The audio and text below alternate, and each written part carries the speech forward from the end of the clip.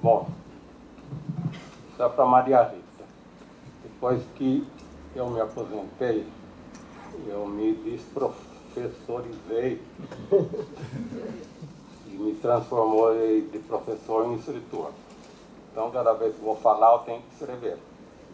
E quando vou escrever, eu finjo que estou falando. Então, essas contradições a gente vive. Né? Sem então, contar cara... o livro que você escreveu, que é muito bom, né? Ah, obrigado. Quero primeiro agradecer aos organizadores, professores e alunos do terceiro seminário de literatura brasileira, em especial o professor Ivan Marques, o convite para fazer a apresentação da palestrante de seu encerramento, né? a psicanalista Maria Itaquel. Só baixando o celular. O que faço com muita satisfação. Quando a conheci, nos meados dos anos 70, quatro décadas, os pais, éramos colaboradores da chamada imprensa alternativa ou nanica, como chamam. Vínhamos do jornal Opinião, do Rio de Janeiro, participamos da fundação do semanário Movimento, agora em São Paulo, e depois de racha em racha, era assim que tropeçávamos na vida, participamos do Em Tempo, ela, a Maria Rita, de tendência mais libertária e trotskista. e amanhã eu, e reunia remanescentes dos PCs, Partidão, Dissidência Comunista, PCdoB, PCBR e outras organizações socialistas.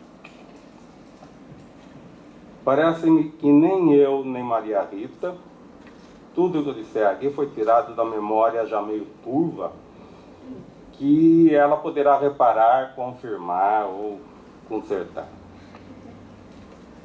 Fazíamos isso não tanto só pelo interesse do jornalismo cultural, mas era a forma, penso eu, que também encontrávamos de fazer política e resistir à ditadura militar, que naqueles, naqueles anos era feroz. Por isso, o simples ato de pensar e escrever sobre determinados assuntos já se confundia com fazer política, agitação, subversão e tudo mais. O que, na verdade, era não aceitar a condição infantilizada a que os donos do poder queriam nos reduzir, a de meios sujeitos, sem direitos e irresponsáveis como crianças. Era a consciência disso, de que não aceitávamos essa mutilação e queríamos nos tornar pessoas inteiras, no que procurávamos acreditar ainda ser possível, que nos fazia enfrentar as longas reuniões noites adentro, discutindo como organizar uma editoria cultural num jornal que se pretendia democrático, socialista, popular e de esquerda. Principalmente na casa da Maria Rita. Na minha casa? Na sua. Não lembrava. Não lembrava? Todo mundo morava apertado naquele tempo, mas sua casa tinha espaço. É que eu morava com oito pessoas. Né? Tá. A gente morava em comunidade. Comunidade. Foram anos de muito aprendizado e conhecimento. Foi aí também que conheci os nossos colegas Flávio Aguiar, José Miguel Wisnik, Modesto Carone, recém-chegado da Alemanha, Bernardo Kuzinski, recém-chegado da Inglaterra, enfim. E grande escritor atualmente, é, né? É, grande escritor hoje, né, reconhecido. Né. Foram assim anos de luta também, e principalmente de festas Acho que nunca se dançou tanto na esquerda. Dançou nos dois sentidos, né? Dançávamos de todos os lados. De Caetano e Gil, a Rita Lístico, Buarque, Bob Marley, Rolling Stones, enfim, entrava tudo nessas anos. Como nesses anos de ditadura. Era talvez junto com a crítica radical rebelde, a nossa saída compensatória, dançar. Depois seguimos nossos caminhos.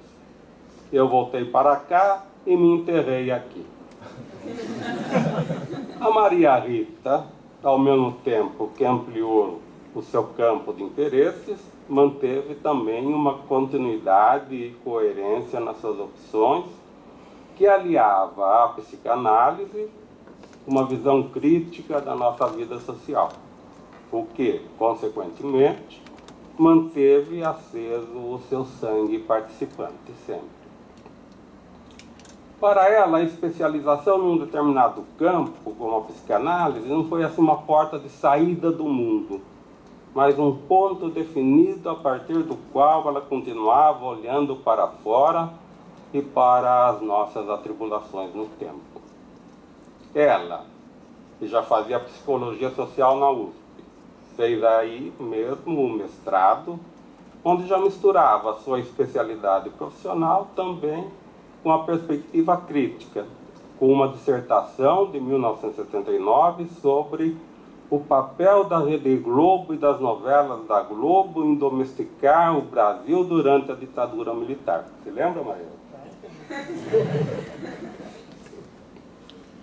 Porque seria. Quanto você se Não, eu consultei. Tem um Google hoje.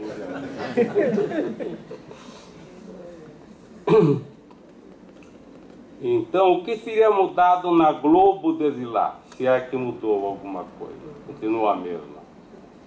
Depois, Maria Rita doutorou-se em psicanálise na PUC, em 1997, com um trabalho que resultou num livro de muita repercussão, chamado Deslocamentos do Feminino, a mulher, a mulher freudiana na passagem para a modernidade, editora Imago Editora, 1998, e terceira edição pela Boitempo em 2016. Enquanto a Globo se esclerosava, Maria Rita cresceu e amadureceu como psicanalista, preocupada com as questões do feminino e uma boa produção teórica a respeito. Manteve-se sempre atuante na imprensa, como ensaísta, cronista, poeta em órgãos como Veja, Estadão, Folha de São Paulo, isto é, Já faz muito de outros tempos.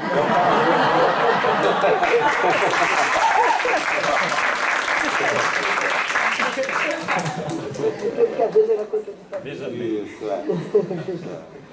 O, o Raimundo Pereira, né?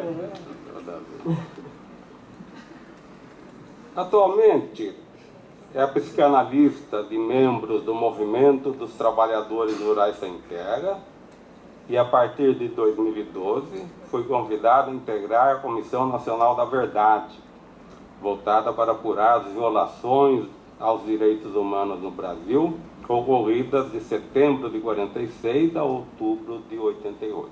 Isso ela se manteve até 2014. Né? Depois de oito novos livros, dos quais gostaria de destacar oito. É. Acho que não. Não?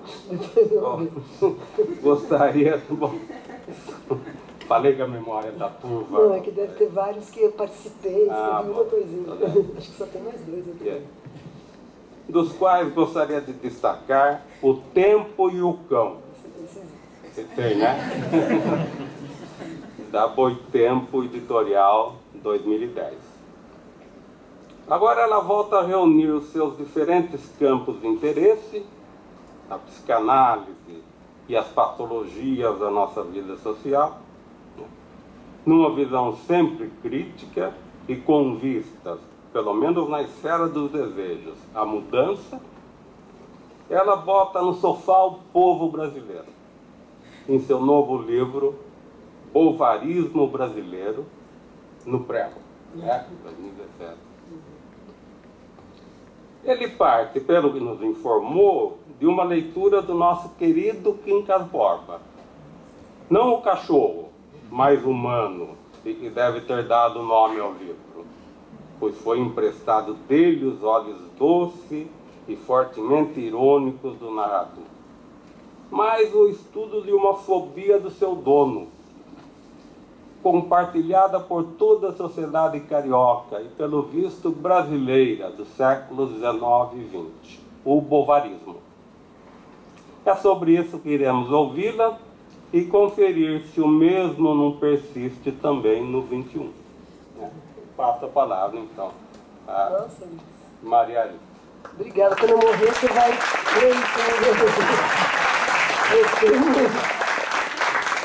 Você lê no meu inteiro, só que eu não vou estar lá ouvir. Mas eu gostei. Ele exagerou um pouco, gente. Olha, bem, eu tive que fazer uma coisa que eu não gosto, que é, é, o problema é o seguinte, esse texto já é um texto pronto. Eu não gosto de ler, porque eu sei que a lógica da articulação do texto escrito e do texto falado são diferentes, são lógicas diferentes. Então, eu, pelo menos quando estou na plateia, acho muito mais difícil acompanhar uma leitura de texto escrito. Então, vou tentar, a partir do escrito, ir articulando mais na lógica da fala, porque eu acho que é mais, a gente presta mais atenção, não é? Claro que eu não gostaria que vocês dormissem, então vou fazer isso para tentar. É, primeiro, é, porque aqui já é um texto no formato de uma coisa que vai para um livro, eu gostaria de falar um pouquinho dessa palavra. Claro que vocês que são alunos de literatura, a palavra bovarismo deve ser bastante familiar para vocês, né? Mas eu, é, que havia empregado assim como um adjetivo qualquer, é, eu encontrei um livro de um, de um filósofo chamado Jules de Gaultier, um filósofo é, do século XX, de terceira linha. Tanto que a única coisa que eu sei dele é que ele escreveu esse livro chamado Le Bovarisme. O Bovarismo, ele foi citado, acho que pela Rudinesco, num livro da biografia do Freud, e aí eu tive em e dei a sorte de achar esse, um exemplar na biblioteca, e como eu não podia trazer para o Brasil, eu fichei ele inteirinho. E é, a definição do bovarismo é muito interessante e ela já é discutível de cara, porque ela é considerada no século XIX e começo do XX como uma espécie de, de patologia. O, o bovarista seria um tipo meio delirante, como se ele vestisse um certo ego dois pontos acima do tamanho dele. Mas se vocês pensarem um pouco, vejam se aquilo que foi uma patologia, talvez em sociedades ainda muito fortemente estratificadas, né? uh, e talvez pensando no Brasil, onde as, as revoluções igualitárias foram demorando mais para chegar. Pode até ter sido um, uma patologia no começo do século XX, como hoje em dia ela é uma condição da mobilidade social. Porque Bovarismo ele define como todas as ilusões que o eu tem a respeito de si mesmo, no sentido de que ele pode vir a ser um outro, tornar-se um outro. Né? Ou já pensar em si como o outro que ele desejaria ser. Né?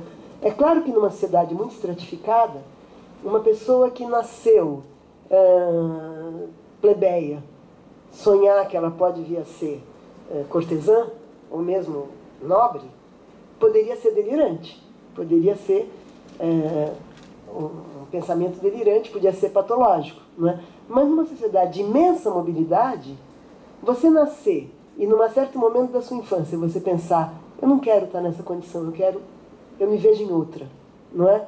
É uma condição que está aberta, não é garantida na nossa sociedade, porque é uma sociedade ainda muito desigual. Mas as condições da modernidade tornaram isso, que era patológico.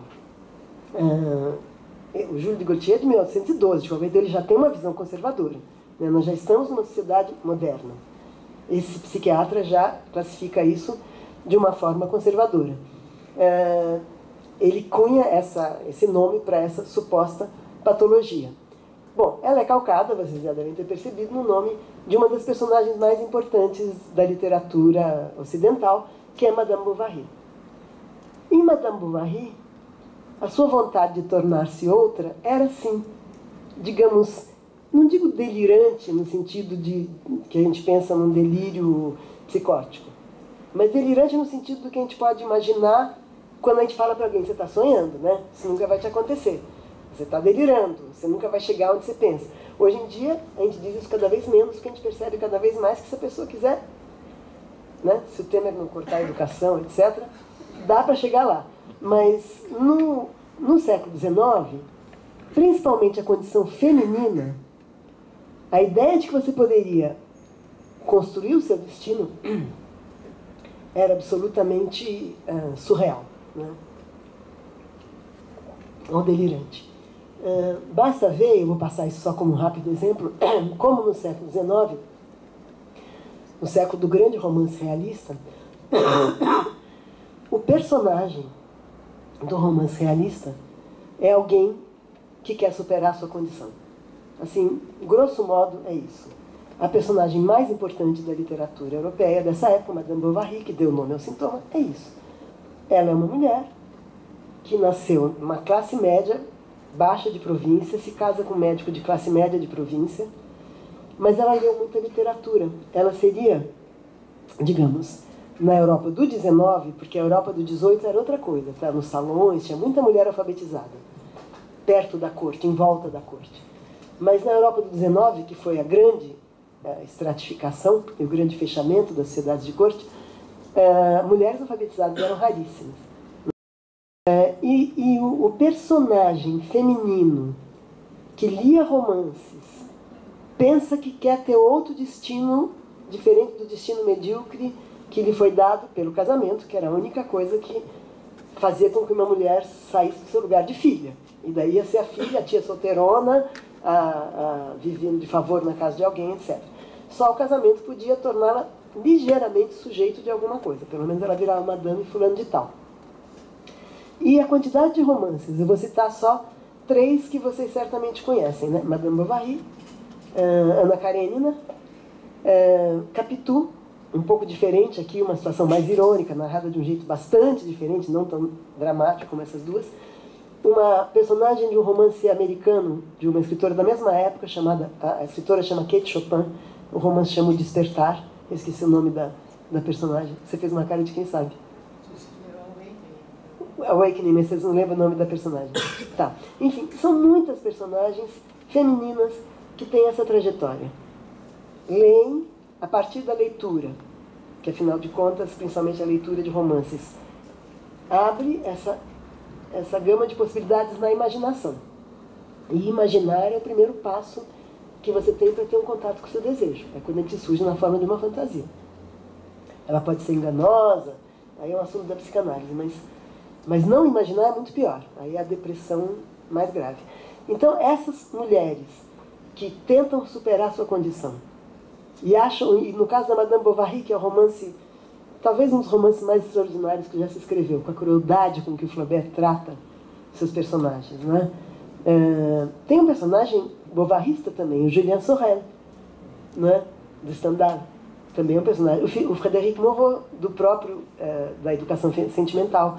Mas o Frederic Moreau, os dois homens, que eu estou me lembrando agora, de personagens que querem também mudar seu destino, o final deles é irônico, não é trágico.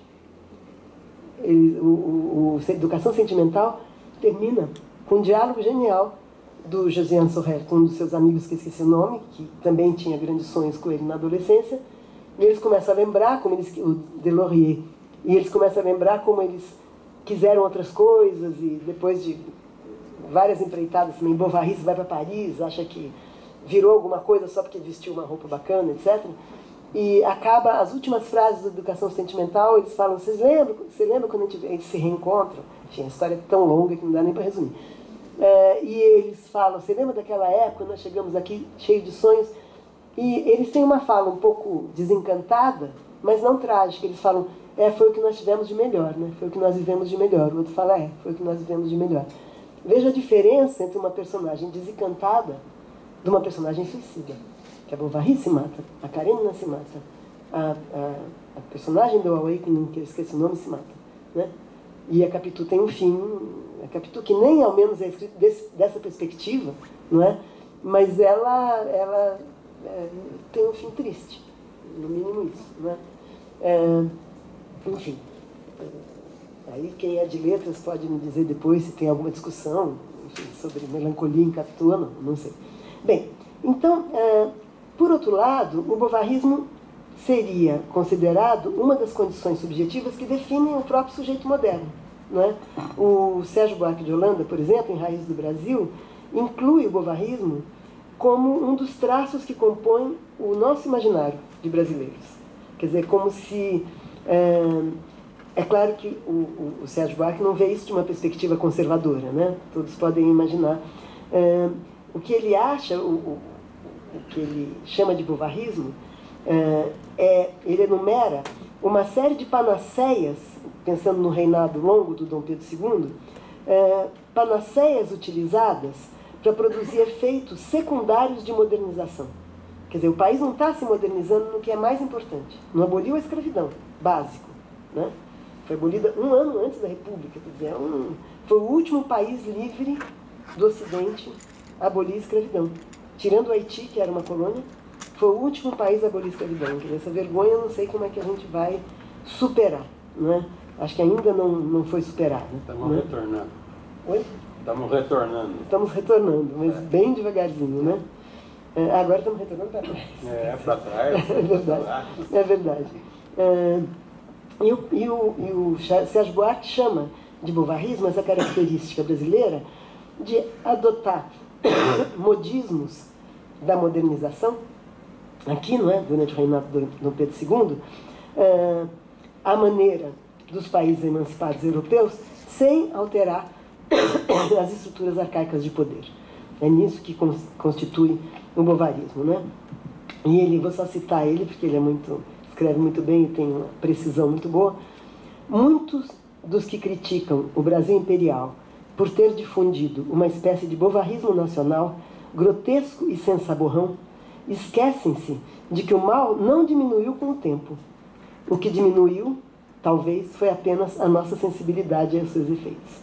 Quer dizer, a gente ri do bovarrismo é, do final do XIX, né, do reinado do, do Pedro II, mas não percebe que ele continuava, pelo menos na época em que, em que Sérgio Buarque escreveu Raiz do Brasil. Bem, é, vamos para a literatura. É muito conhecido entre os amantes da literatura, e para quem leu Flaubert principalmente, uma cena entre Madame Bovary, então Madame Bovary, pequena burguesa, classe média de província, que lia.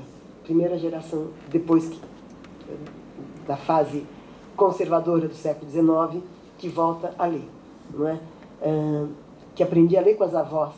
É interessante isso. As mães eram analfabetas. As avós ainda, velhas senhoras do século XVIII, teriam ainda ido à escola. Ou, aprendi, ou se, se alfabetizado, enfim, em círculos, nos salões, etc. Então, a primeira geração, de novo, que volta a ler. E é uma geração, então, o Varri fazia parte dessa geração, que tinha acesso aos romances. E é nessa época, se a gente estuda um pouco a história da vida privada, etc., que se começa a produzir, em larguíssima escala, romances para moças. Romances de capa cor-de-rosa, né, com historinhas de mocinhas sonhadoras que conseguem fazer um. sofrem, sofrem, sofrem, é, tipo Cinderela, mas Cinderela é história de tradição oral é, da Idade Média mas voltam esses romances um pouco adaptados à época, não é? De mocinhas sonhadoras que sofrem muito, mas enfim acabam conhecendo um homem que reconhecem o seu bom coração, sua bravura, a sua inteireza de caráter, etc. E se casam, então elas é, viram nobres ou superam a sua condição medíocre. E, e esses romances todos que eu citei, né, Kate Chopin, Ana Karenina, etc., são histórias de mulheres que leem. E como leem, elas é, sonham em é, superar uma condição que deve ter sido terrível. Gente está cheio de mulheres aqui, né? É difícil a gente imaginar a condição das nossas bisavós, ou das minha, minha avó, bisavó de vocês. O que, que era você viver em casa, uh, se preparar para casar, achar que vai ser o seu grande momento, e três anos depois você está em casa e e, nada mudou tão significativamente na sua vida. Não, não, digo que a maternidade não seja, não traga alegrias, não é? Mas vejam que ironia. Agora eu vou fazer uma pausa, uma, um parênteses psicanalítico aqui. Por que que surge um médico que escutou mulheres no século XIX e descobriu a histeria? Porque o XIX foi o século do confinamento das mulheres. O Freud não podia ter surgido no XVIII. Não foi uma coincidência. Foi um, um momento histórico. O Freud não podia ter surgido hoje. Hoje surgiria outra coisa. Né? foi esse homem que escutou essas mulheres com fantasias, e muitas delas, eh, num dos estudos sobre a histeria do Freud, é maravilhoso. Não lembro agora o nome da. Me sumiu, porque eu estou improvisando aqui, mas essa histérica que, que ele consegue curar o sintoma, né? Porque nessa época não tinha essa. Foram as primeiras curas do Freud, não é? E ela tinha os sintomas de paralisia, porque ela tinha visto o pai morrer. Enfim, uma história comprida. E ela foi curada dos seus sintomas. E o Freud sempre, durante a escrita desse estudo, ele, ele diz como essa jovem era inteligente, talentosa, etc. E aí, quando termina esse estudo, Freud era um escritor que é, organizava seus textos de uma forma quase literária. Então parece que ele está contando uma historinha e termina ele dizendo: Fiquei muito feliz quando fui a um baile, não sei onde, não sei que dia, e vi a minha antiga paciente, que sofria de paralisias histéricas, dançando muito desenvolta eh, nos braços de um parceiro que talvez seja o seu noivo. Só sinto pena que o casamento, que provavelmente seria o destino dessa moça, né? que o casamento vai obrigá-la, mas para ele era natural, ele não está criticando, tá? Ele só sente pena que o casamento e a vida de mãe de família vai obrigá-la a abrir mão de todos os talentos que ela, que ela tinha, né? que ela mostrou que tinha durante seu tratamento. Então, essa era a condição feminina. Né? Bem, é, voltando para Emma Bovary, então. É, a Bovary, com esses sonhos de que ela se casa com, com um homem que é o Charles Bovary, que é um pobre Charles Bovary, quem leu deve ter pena dele. Era um homem medíocre, ele não tinha culpa, ele era um homem medíocre. E cada vez que a Bovary achava que ele ia fazer uma coisa bacana, ele piorava. Ele tenta consertar um pé torto de um camponês, acaba com o cara, enfim, o cara tem que usar uma perna artificial, não, não lembro mais os detalhes, mas dá tudo errado. Ele, ele é um medíocre. E um cara tímido, um cara. E ela depois de casada, ela todo dia abria a janela, olhava para a estrada e falava: alguma coisa tem que acontecer. Porque essa era a condição. Não é? E, bem, o que acontece é que, como é que ela consegue, ela escrita como uma personagem bonita, uma mulher bonita, como ela consegue superar um pouquinho a mediocridade da sua vida provinciana tendo amantes. Não é? Claro que muitos de nós já superamos vários momentos chatos da nossa vida tendo amantes, mas a Bovary era a única coisa que ela podia fazer. Não é que era uma. Né? Boa saída, hein? É boa. Os homens também fazem isso, nós somos dessa. Mas, enfim, é, era a única saída. Né? Só que cada vez que ela conquistava um amante, ou que um amante a conquistava, o sonho dela é que ele ia levá-la para outra vida. O seu primeiro amante, Rodolfo, é, ela acha que ela pode ir para ele, é, é, o sonho, que era um sonho muito europeu do 19, que era ir para o Oriente, que eram as terras exóticas, que eram as terras recém-descobertas. Então ela sonha que com o Rodolfo talvez ela possa ir para o Oriente. E o Rodolfo só achava ela linda e achava bacana ter seduzido aquela mulher, e quando ela começa a, a se empolgar demais, ele manda uma carta romanesca, mas calculada, para sensibilizá-la, dizendo a Deus tem que me sacrificar para não desonrá-la. Ele escreve porque ele domina o código. Os homens dominam o código. Né? No 19, ela não. Então ele escreve uma carta romanesca, fingindo que ele está sofrendo horrivelmente, fazendo um enorme sacrifício pelo bem dela. Ela lê ao pé da letra. Tem uma febre horrorosa, passa dias e dias e dias à beira da morte tudo mais. Bem, depois o segundo amante faz a mesma coisa, enfim. É, não vou re repetir Madame Bovary para alunos de, de literatura, né? Mas tem uma cena importante no segundo amante que ela tem, que é o Leon, que é um homem que já mora em Rouen, então ela passa a ir a Rouen para fingir que tem aulas de piano e vai encontrar esse rapaz, o Leon. E a primeira cena de sedução, essa cena foi tão forte que Flaubert foi processado pelo Ministério Público de Paris.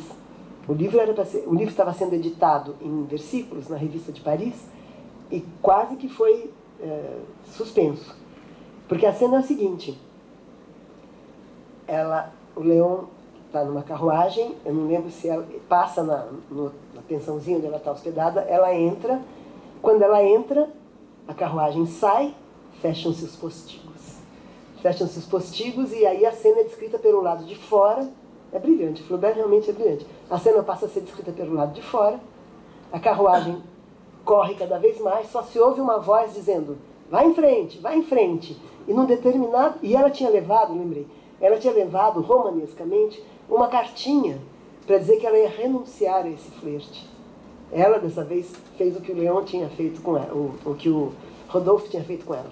Leva uma cartinha para dizer que não podia, que era impossível, e ela quer entregar a cartinha. E ele entra na carruagem, fecham-se os postigos, a carruagem sai desabalada, até que num determinado momento, uma mão feminina sem luvas, isso é o auge da pornografia, uma mão feminina sem luvas joga pela janela uma carta picada em pedaços. Significa que, então, ela foi seduzida. Não é? é bem, por essa cena, Flaubert foi, foi processado pelo Ministério Público e o advogado dele foi brilhantemente cínico, dizendo que, o que os juízes não tinham entendido que Madame Bovary era um livro escrito para prevenir as mocinhas sonhadoras de que elas não deviam cair na cantada de qualquer bonitinho mais ordinário. Mais ou menos foi essa a defesa. E aí foi liberado de novo Madame Bovary. Bem, uh, vamos para o Brasil, Machado de Assis. Quincas Borba. Vocês já devem conhecer, eu vou fazer um resumo só para eu mesma chegar nessa cena, não é?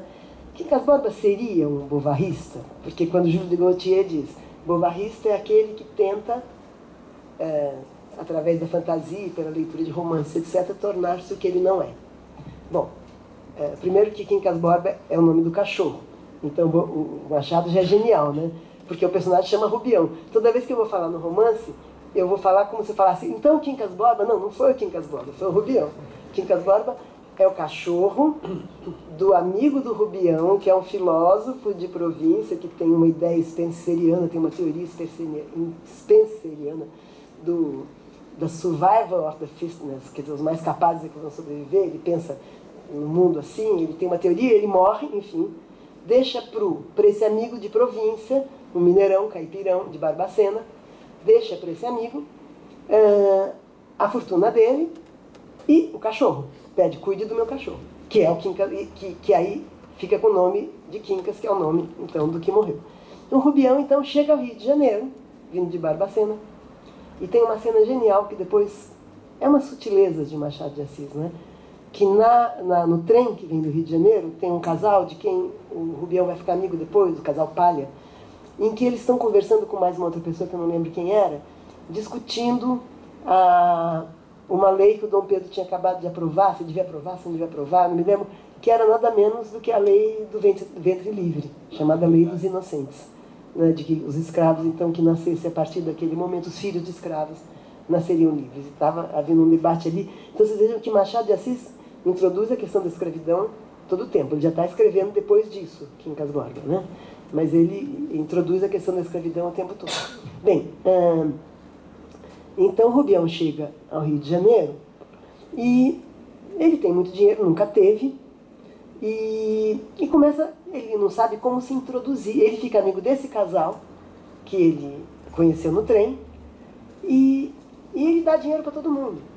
Ele, então ele começa a ter uma, uma, um círculo de frequentadores, seus chás começam a ser importantes. E ele frequenta também a casa do casal Palha e se encanta rapidamente com a Sofia, que é a esposa, que é também descrita com todos os clichês do, do romantismo uh, pré-Machado. Olhos negros que brilham, cabelos cacheados brilhantes, um decote arfante, etc. e tal, seios arfantes.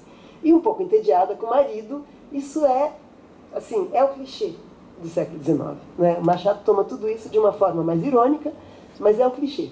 O marido, revista, revista, empenhado, mas curto de ideias, uma mulher sonhadora, e só que em vez de aparecer um conquistador à altura dessa mulher sonhadora, tem ali um, um caipirão que os conquista na base de, do dinheiro, né? as pessoas tomam ele por um ricaço que veio de Minas, etc.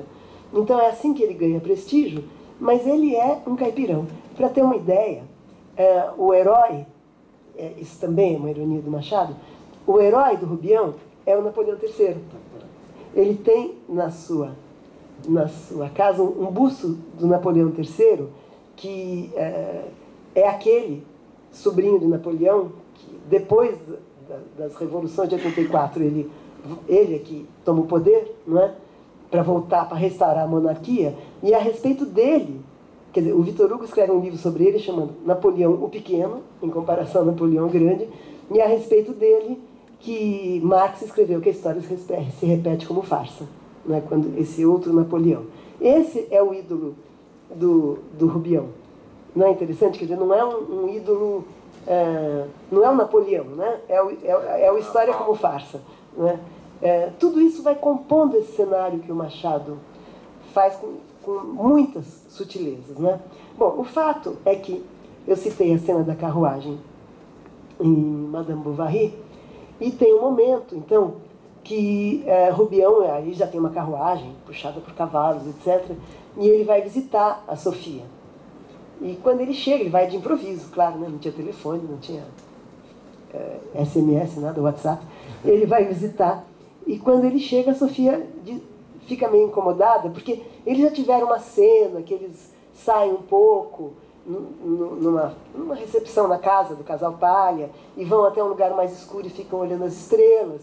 E ela gosta um pouco da corte daquele homem, porque o marido dela é muito chato, muito pragmático, mas é, aí ele começa a dizer: seus olhos brilham mais que essas estrelas. Já teve uma cena um pouco constrangedora para ela, que ela depois.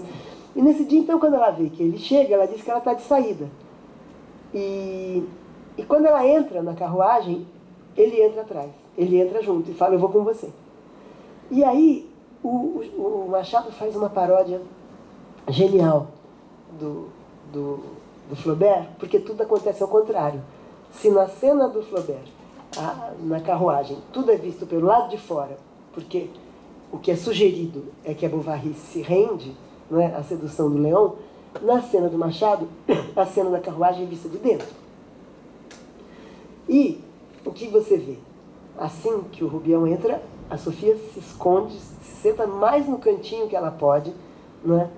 e, e ele começa a, a se declarar a ela, e ela vai ficando cada vez mais incomodada, constrangida, e ele começa, e quando ela fala, ah, não, Rubião, não é isso, alguma coisa assim, ele fala, não me chame assim, me chame de Luiz. E ele entra num delírio que ele é o Luiz Napoleão. Eu sou o teu Luiz. E tira um anel do dedo, porque ele tinha brilhante, sei lá, e, e dá para ela o anel e tenta pôr no dedo dela, etc. E, e a cena vai assim, num, num, delírio, até que de repente a carruagem para num congestionamento carioca do século XIX e de repente ele, ele sai do delírio e, e salta. Ele percebe, ah, não sei, não, não tem detalhes do que ele percebe, ele só se dá conta que ele não está dando certo, ele volta à realidade e salva da carruagem. E aí ele está num bairro modesto ali, sai andando, enfim. Então, é, essa cena, a meu ver, é como se fosse uma, uma.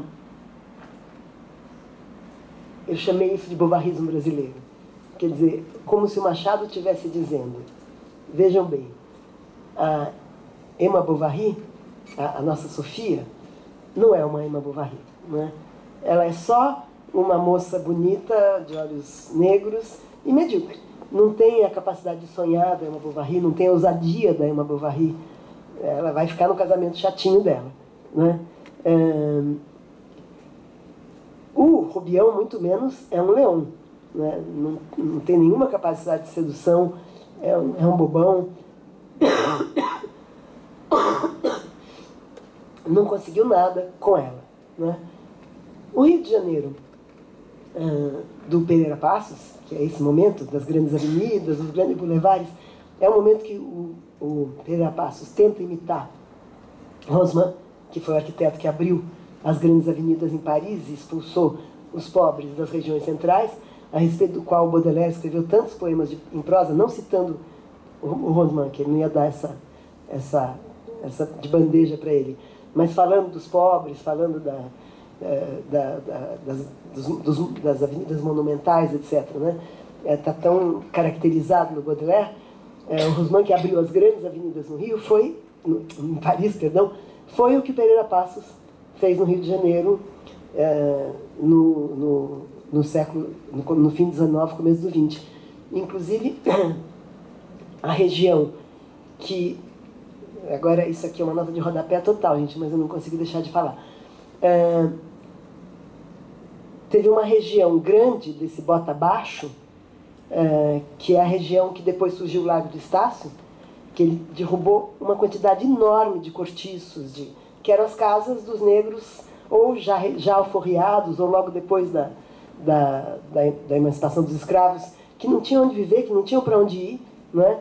e se meteram numa região de cortiços, de, de ruazinhas, e aí a ideia de desinfectar a cidade não era chegar lá, melhorar, fazer é, uma certa higienização, etc. Era derrubar tudo. Né? E esses negros todos, não era no Estácio, desculpa, era outra região do centro do Rio, é, e onde hoje abriram a Avenida Central, a Rio Branco, etc. E esses descendentes de escravos todos, né, que já não tinham, não eram mais escravos de, de, de família, né, que tinham as casas para morar, foram para a região do Estácio, que era uma região meio de mangue, meio alagadiça, que, que ninguém queria morar, e foi ali que nasceu o samba. É, para fazer uma foi nessa região que nasceu o samba. A história do samba é a história do fim da escravidão, dos bota-baixos, do encontro de pessoas que saíram de várias regiões. A casa da Tia Ciata, a famosa casa da Tia Ciata, é ali perto, era ali perto, né? Muitos desses, desses lugares, agora o Lago do Estado já é outra coisa também. Enfim, a Cidade Nova já é o Porto Maravilha, tudo isso já acabou. Mas, mas foi o segundo Pereira Passo, né? Foi agora o Sérgio Cabral na época da, da Copa. Também tirou um monte de gente de um monte de bairros onde as pessoas pobres podiam morar perto do centro. Bom, volta para o Machado de Assis. Então, é como se o Machado de Assis estivesse dizendo: eu também não sou nenhum Flaubert. Né? Quer dizer, eu, eu, eu não sou nenhum Flaubert, por que, que ele poderia estar dizendo isso? Machado de Assis provavelmente sabia perfeitamente que ele era um escritor à altura, pela sofisticação, pelo uso da língua, pelo manejo da ironia, uh, pela, pela imaginação também, pelo modo de abordar muito sutilmente as questões sociais do Brasil da sua época, provavelmente Machado sabia que ele estava no, no panteão dos grandes escritores. Não é? O Schwartz diz isso. Mas ele está condenado por uma língua que ninguém mais falava no mundo, a não ser em Portugal. Né? Que nessa época já era um país desimportante. Então ele está condenado pela língua a ser um escritor local, né? a ser um escritor nacional e talvez no máximo de dois países. Né? Então, essa ironia dele usar a cena da carruagem, dele fazer uma, uma, uma sedução fracassada, dele fazer uma personagem feminina bovarrista no sonho, mas sem ousadia, uma personagem masculina, que é uma revista, que não consegue é, fazer semblant, ficar, fazer uma pose à altura da, da, do dinheiro que ele ganhou. Não é? E tem mais duas cenas interessantes no, no Quincas Borba, em que Machado de Assis está mostrando perfeitamente como ele tem noção das aberrações da sociedade carioca do seu tempo. Uma delas é que Quincas Borba, não sei se é logo em seguida que ele desce dessa carruagem, sai a esmo pelas ruas, não sei se é nesse momento, desculpem, porque eu não li o romance, não reli tudo agora. Ele vê uma multidão indo para algum lugar e ele fala: Para onde vocês estão indo? Não, é que vão enforcar um negro fugido. E aí ele vai também, porque ele fala, puxa, é tão raro hoje em dia ver enforcar um negro, vamos lá. Não é? Quer dizer, o Machado fala isso com uma leviandade evidentemente provocadora. Não é? Ele vai como se fosse assim, é tão raro ver um palhaço fazendo malabarismo, vamos lá. Né? Então, é tão raro hoje em dia ver enforcar um negro em praça pública. É, é, até me constrange contar essa passagem do romance que é assim mesmo, né? mas é assim mesmo que ele faz. E eu tenho certeza que ele não o faz é, por racismo, mas por, por essa crueldade literária que é preciso ter para abordar certas questões. E a outra cena é a última cena, quando a República é proclamada, né, que é o fim já do livro, e tem uma padaria, uma confeitaria, uma confeitaria, é, onde está escrito Confeitaria é, Imperial. É isso? Ah, eu tô, estou no livro errado. Eu estou no livro errado. Isso já é do Isaú e Jacó. É a outra, que muda a tabuleta para a confeitaria da, da República, uma coisa assim. Né? Eles ficam discutindo. É, não, perdão. E, e a outra cena no Quincas Borba, quando ele sai também, é que ele vai passando por uns bairros pobres e começa a lembrar que ele viveu ali também e que, que não foi mal antes da herança, que ele, ele viveu nesses bairros, não, que ele foi pobre em Barbacena, etc., que não foi mal. E que talvez ele ali se sentisse mais à vontade, porque ele está sempre gauche, né? onde ele frequenta. Mas aí, em seguida, ele põe essa ideia de lado, porque ele diz, não, é, é, é muito melhor ser rico né, do que ser pobre, quer dizer, não, é, não faz sentido. Bem, é, acho que a gente pode é, vou abrir para discussão, porque é, de qualquer jeito o Machado sabe que a Bovary do Flaubert ela fracassa na sua vontade de se tornar outra mulher, não é? Uma, ter outro destino, ela acaba se suicidando, enfim. Mas não fracassa como personagem da grande literatura mundial. É? Como personagem, ela não fracassa. E o, e o Machado, nem isso ele pode ter certeza, não é? de que a, a sua Capitu, de que ali na época, hoje em dia a gente sabe que ele está inscrito entre, entre os grandes escritores, mas na sua época ele não, não sabia se, ele, se as suas personagens iam se tornar é, inscritas como grandes personagens da, da literatura mundial. Né? É, em todo caso, é, só para terminar, é, se num personagem como Madame Bovary, ou se numa personagem como Capitu, se numa personagem feminina no século XIX, o sonho de tornar-se outro, que já estava inscrito na modernidade, não é? Podia levá-la a um desfecho trágico, não é? para um personagem masculino, mesmo para um personagem tão tragicômico como o Rubião, tão é, fracassado, é? tão bobo, é, esse percurso de tornar-se outro não termina num suicídio. No fim, ele morre num hospício. Não é? ele, ele, ele vai enlouquecendo na sua, na sua, no seu delírio. Ele não consegue também colocar os pés hum, na realidade em que ele está inserido. Né?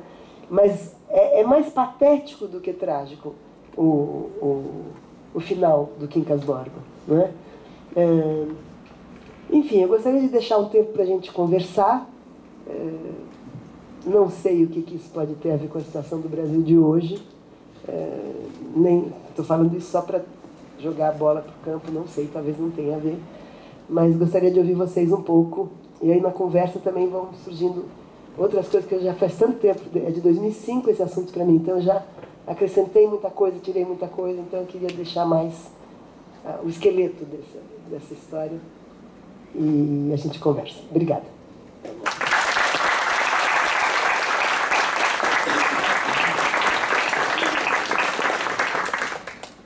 Eu abro então para perguntas, né? o debate. Você quer vir falar aqui com. Não precisa. Não? É, acho que dá para ouvir, né? É, boa noite, meu nome é Lucas Paulilo, é, faço parte do programa de pós em Ciências Sociais da Unesp de Araraquara. E eu queria fazer duas perguntas. A primeira, é, qual é a relação do bovarismo com o romantismo? É, o bovarismo seria um tipo de romantismo? Não sei é, com essa perspectiva de um dever do outro. E dois, qual é a relação do bovarismo com a condição do intelectual? Uh. Porque tem algo de bovarista nessa questão manheimiana do intelectual de estar para além é, da sua condição. Porque, da forma que você falou da Madame Bovary, tem essa questão do contato com os livros também, né? que acaba despertando nela é, questionamento da superestrutura social que ela está colocada. Né? Uhum. Então ficam essas duas perguntas. Tá, peraí, volta para a primeira, eu vou tentar. A primeira é a relação É mais do difícil. romantismo Uhum. Do romantismo com o intelectuais. Tá. Olha, ah, eu não sou uma estudiosa do romantismo, né? Ah, sou mais uma, não sou uma estudiosa no sentido scholar de nenhuma dessas coisas, né? Eu sou uma interessada que às vezes me aprofundo um pouco, mas não sou. Vocês estão no seu meio, né? Aqui, não, não, não sou desse meio, mas ah, eu não sei se a gente pode falar de bovarismo no romantismo. Porque o romantismo corresponde, se eu estiver errada, vocês me corrijam, por favor, mas corresponde, grosso modo, pelo menos no seu florescimento, lá no 18, etc., é, numa época em que a ascensão social não era uma perspectiva aberta para as camadas médias, digamos. No Brasil, a ironia maior, que eu esqueci de dizer, é que tudo isso se passa no pano de fundo da escravidão, ainda. Não é? Acho que eu mencionei muito é, en passant, mas toda essa ideia, esse afrancesamento, essa vontade de se tornar outro, etc., isso é o Roberto Schwartz que aponta muito claramente. Quer dizer, a, o, Quincas Borba tem um escravo de ganho em casa. Não tem, não tem fazenda, não tem escravos em fazendas, mas tem escravo e ele fica um pouco constrangido com aquilo, mas tem que ter, porque é status, etc. Então, o romantismo corresponde a, um, a uma perspectiva. Eu tenho a impressão que a movimentação em torno nas sociedades de corte, não é? muito que vem desde Shakespeare, não é romantismo, mas você vai vendo em Shakespeare é, em que tudo depende de casamentos cair nas boas graças do rei, de um duque, de um conde, quer dizer, é, não tem nenhuma possibilidade de uma inserção que não dependa de, de alguém te, te, te levar para cima, digamos assim. Não é? Então, eu acho que o bovarismo é, uma, é um sonho do sujeito se transformar e tornar-se outro. Né? Então não me parece que seja uma figura do romantismo, mas como a sua pergunta é muito interessante, se alguém lembrar de um personagem do romantismo bovarista, eu vou até vou procurar, vou ler, vou, se eu estiver enganada. Né? É, segunda pergunta, agora... Eu, eu posso só, Ah, só diga. complementar? Uhum. Que os romances que a Emma Bovary lia eram romances românticos. Sim, espada, claro, claro. que levavam ao Uhum. devaneio, à fuga da miséria e do tédio da vida burguesa desencantada dela. Né? Mas os romances de de Espada é muita mocinha que é arrebatada por um É. cavaleiro, é mocinha pobre, que, não é? Era o, o Dom Quixote que lia romances O Dom media- Quixote, né, bretão, medievais e sonhava em voltar para trás. né? Claro, o Quixote é interessante porque o Quixote, é, os, alguns autores que falam de bovarismo falam, na- claro, fazendo uma leitura a contrapelo, que o Quixote teria sido o primeiro bovarista. Né? A força de ler romances, mas é claro que é uma leitura só aplicando como adjetivo, digamos assim, não é, não é uma, uma, uma, uma crítica literária consistente. Mas, mas o primeiro personagem que pensa que ele é um outro, mas aí é delirante, é, é, não me parece que tem a ver com romantismo mesmo. E volta para a segunda? Segunda era da condição do intelectual. Se é uma condição bovarista? Não, qualquer relação. Porque, por exemplo, inclusive esse ethos francês, né? Maio de 68 tem um pouco desse ethos bovarista. Porque, pelo que eu entendi, é, o ethos bovarista, ele tem um quinhão que é tanto de, de algo romântico no sentido lato, não no estrito... Romanesco, né? É, Uhum. romanesco, perfeito. Uhum. E um outro sentido que também é transgressor. Uhum. E daí você coloca a condição brasileira tal. E daí eu gostaria de saber, num sentido mais panorâmico, da condição do intelectual, dele negar a si mesmo. Não, muito boa essa pergunta. Agora, muito boa mesmo, porque é, quando eu fiquei procurando aqui se tinha mais alguma coisa importante, importante não sei, mas enfim, mais alguma coisa que coubesse hoje para dizer, é, a última coisa seria essa, não é? que o bovarismo hoje não é um sintoma porque ele está inscrito nas condições da modernidade. Quer dizer, isso que foi um sintoma no Brasil do 19, não é? ou na França de meados do 19, na França de província de meados do 19. Não é? Cunha não, não era chamado essa personagem que cunha o termo, que depois nomeia também alguns outros personagens do final do 19 e que hoje está inscrito nas condições da modernidade. E mesmo os homens, quer dizer, por que, que eu dei o exemplo do Julian Sorrel? Né? O Julian Sorrel é um cara que ganha uma herança, vai para Paris, ele é homem. Então, no percurso errático que ele faz, não tem nada que possa desonrá-lo ou destruí-lo como, é, como imagem. Né? É, ele vai para Paris e ele, ele não deu para nada. Né?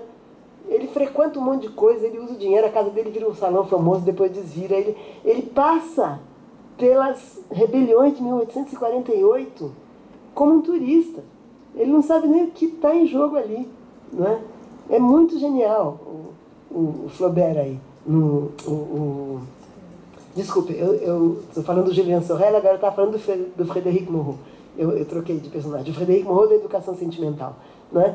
Ele, ele passa por aquilo tudo sem entender nada, ele só sabe fazer semblant.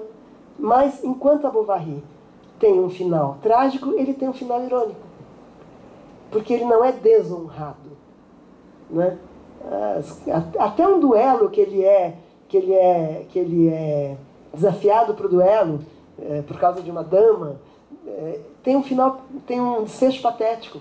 Né? Então, no, no personagem masculino, não é? É, o Flaubert faz uma, uma, uma passagem toda irônica. Não tem tragédia ali. E no personagem feminino ele faz pensando o que, que era mulher no 19 o que, que era o homem no 19. Ele não consegue tornar-se outro, mas ele consegue sustentar o semblant porque ele, ele circula, ele, ele decide como ele circula em sociedade. Ele não se desonra, ele não se desgraça, ele não cai em desgraça. Né?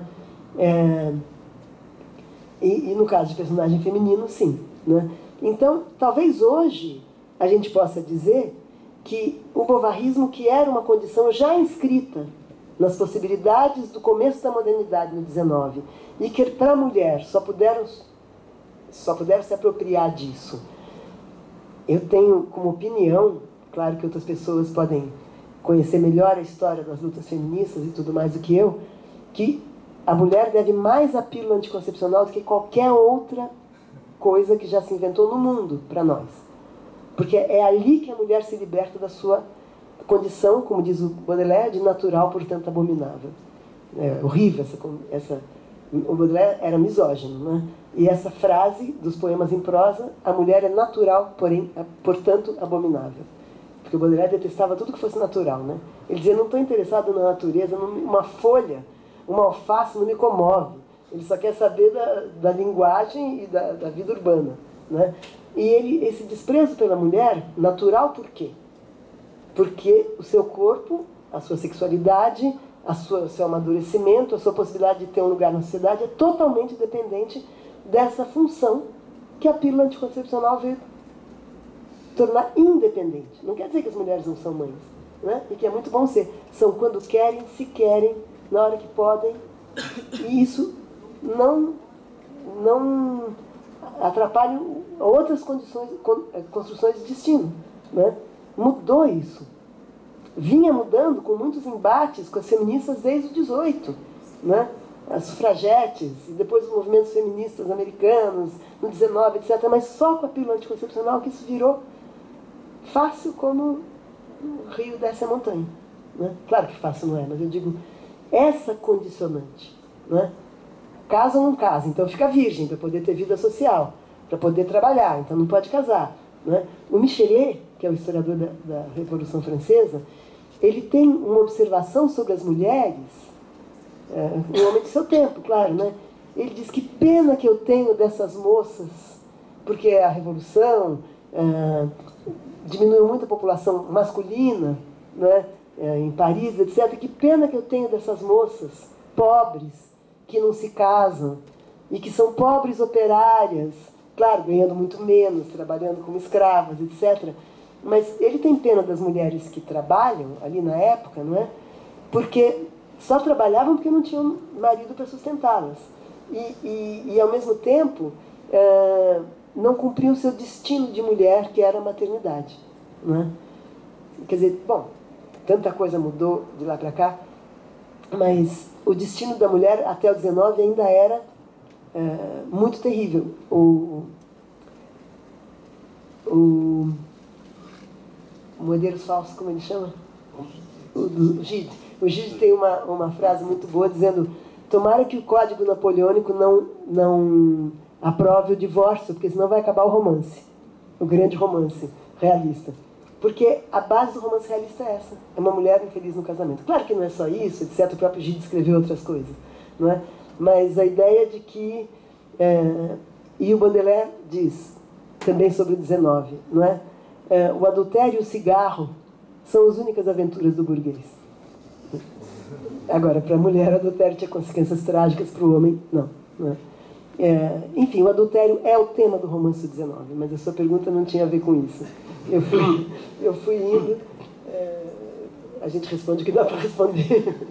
Obrigado. O Flaubert escreveu Bouvard e Pécuchet. Ah, é Bouvard e Pécuchet, é o último romance. É um, um romance de, de colagem de frases feitas, lugares comuns, enfim, enciclopédico então ninguém mais crítico e intelectual do que ele, uhum. e irônico, né, porque ironizava a própria condição, ele dizia Emma Bovary Samoa. Sim, Madame Bovary né? Samoa. Uhum. Que colocando esse moá aí como a classe, né, os intelectuais, que sonham ser sempre muito mais do que são. Né? Mas veja, eu não gosto de usar esse, esse tema bovarismo para acusar ninguém. Porque se a gente não sonhar que a gente ser mais do que a gente é, a gente se deprime. O problema é esse. A gente, o difícil, e eu acho que isso na psicanálise, quer dizer, quando Lacan fala do eu ideal e do ideal de eu, é exatamente isso. Quer dizer, esses dois é, polos, digamos assim, para não ter que fazer toda uma teoria comprida, do superego, é, são constitutivos. O eu ideal é eu na posição perfeita que eu já fui como bebê da minha mãe, no primeiro momento em que nada me faltava, etc, etc, tem uma marca aí do sujeito numa posição de ideal do outro, o outro materno. Né? Sem essa condição, ele é um melancólico. Então é melhor ter essa condição. Ele é um melancólico freudiano, daquele que quer se matar. Nessa condição, ele se constitui, mas ele tem que sair disso. Senão ele vira um narcisista que não se desenvolve. Né? Os ideais do eu são algo que vai se constituindo na medida em que ele cai desse lugar, e ele cai desse lugar facinho, basta a mãe ter outro filho, ou a mãe uma hora vai trabalhar e não pode ficar o tempo todo paparicando seu nenê, ou ela também gosta do marido e deixa o neném um pouco para ficar. Ele vai cair desse lugar, perfeito. Se não cair, é pior. Né? E se ele cair, ele começa a tentar voltar para esse lugar, aí é Freud que vai dizer, mas Lacan depois traduz nesses outros termos, é, se identificando com qualidades que ele acha que são interessantes aos olhos da mãe. Qualidades, teoricamente, do pai. Isso vale para o menino e para a menina, não é? É que Freud faz o modelo do ético masculino, não é? Mas nesse primeiro momento, todos caem desse lugar. Não é? Então, essa queda é fundamental. E essa busca, o bovarismo dos intelectuais, o bovarismo de todos nós, a questão do bovarismo não é querer ser outro. Porque até aí a questão é não medir, não está inserida. Não digo inserida no sentido de inserida na, da inserção social. Não está inserida, na, não, não se dá conta dos mecanismos do mundo em que você vive para saber que recursos você tem para sair desse lugar na direção daquele que você quer. Por que, que as mulheres eram as personagens trágicas? Porque elas já tinham esse desejo, esse desejo estava inscrito na modernidade desde a Revolução Francesa, a possibilidade de tornar-se outra, não é? E uh, elas não tinham, elas não dominavam o jogo de conveniências, de, uh, de habilidades, de, e estavam excluídas do mundo do trabalho, né? Então as mulheres eram os personagens que tinham esse destino triste, né? Na, na Europa. O Machado de Assis ainda tem essa genialidade de escrever isso com um personagem masculino, mas ele ele está perdido porque ele vem da província, né? Então, interessante é isso, ele vem da província para a corte, então ele se atrapalha todo, é, como Madame Bovary se atrapalhou na tentativa de, de mudar de vida através de seus amantes. Não é por isso que eu, eu, eu, eu não acho que é à toa que o, que o Machado faz essa cena da carruagem. Acho que ele sabe muito bem o que ele está fazendo. Quem estuda Machado aqui, que me diga se eu estou errado, espero não estar, porque eu, eu gosto muito dessa ideia. Uma coisa interessante, você falou da gentrificação. Parece que nós, brasileiros, já temos um know-how de gentrificação a partir do momento que a família real portuguesa chega e arranca todo mundo da sua casa, cada um Sim. E aí Exatamente. vem do ventre livre, sexagenário Uhum. e tal. E o Cazuza fala uma coisa que nós são caboclos querendo ser inglês, ou seja, nós queremos e tem também hoje gente imigrando, Estados Unidos, Europa, querendo fazer a vida. E ao mesmo tempo, você falou que tem a ver com hoje, Sofia Coppola filma Maria Antonieta, Uhum. né? E filma de um jeito glamourizadíssimo. Ou seja, né? parece tudo criança animada, ai, eu faço tudo, eu Uhum. quero. Sei, né? E o Nelson, com Bonitinha Mais Ordinária, que mostra uma sociedade classe média alta e rica que pode fazer tudo. A gente está nesse mundo onde todo mundo pode fazer. Eu estou falando da classe média alta que está hoje, eu posso fazer tudo ao mesmo tempo, né? E aí a, a literatura vai retratando isso aos poucos, ou a, outras artes, e parece que o intelectual não consegue hoje chegar à massa. Quem chega à massa é o discurso Mas antes conseguia? eu não sei. Hum. Isso é uma coisa que eu não sei se eles conseguiam, mas talvez chegasse a algumas camadas médias. Mas hoje acho que a gente, talvez o intelectual hoje nem a camada média chega. Porque, né, não sei. Eu também não sei. É uma coisa, né? Porque aí entra, o Marx acho que está certo numa certa parte, que é o, feti, o fetichismo da mercadoria chegou, tá lá, eu quero, eu quero, eu vou, e aí tudo é me oferecido via shopping, né? Acho que, a última, parece que não tem nada a ver, o rolezinho. É uma clara, né? Que fala, vocês não têm esse mundo, não é seu. Né? E aí é Ah, mas eu sou a favor do rolezinho, Também certo? sou. Ah, tá. tá mas você veja Uhum. que o rolezinho foi parado no JK, Uhum, ou uhum. Ah, a literatura faz isso, só que parece que a gente está como massa, né? A gente parece que está apagado, a gente está meio anulado, parece que a gente não sabe o que fazer e a caixa de Pandora do ódio saiu. É, agora discutindo, falando do hoje, né? É hoje, hoje. Uhum, hoje. uhum. E aí não sei como a intelectualidade conseguiria chegar e as ideias. Porque como chega um intelectual, né? ele sai do seu pedestal sacrosanto e consegue chegar. Né? Mas onde que tem pedestal do intelectual, gente? Acho que essa ideia é antiga. A gente está passando chapéu. Que pedestal de intelectual? A- Não tem pedestal. Eu não sei se aqui na USP, eu não estou na USP, né? Claro. Não sei se tem um pouco isso, mas ah, eu, não, eu não sinto mais. Acho que caiu essa ideia, o que é ruim no sentido, vou dizer, não é bom estar no pedestal, não é bom ficar diante do outro no pedestal, mas a valorização do intelectual é importante, Sim, não é? Até isso acho que caiu. Até isso, assim, em termos do eh, você vai dizer para alguém, ah, mas é que eu sou, eu não eu sou psicanalista, mas digamos, se eu, vamos supor, eu também gostaria muito de viver só de estudar e escrever livros. Se eu não fosse psicanalista, seria uma segunda escolha que eu teria na vida. Mas hoje em dia, se eu dissesse, é, pois é, estudo, escrever livro, aham. Não, não, não tem pedestal mais. E acho bom, acho que a gente, seria muito bom que a- o trabalho intelectual continuasse valorizado. Não é? Isso, claro que seria muito bom. Não é? Mas que os intelectuais não estejam no pedestal é ótimo.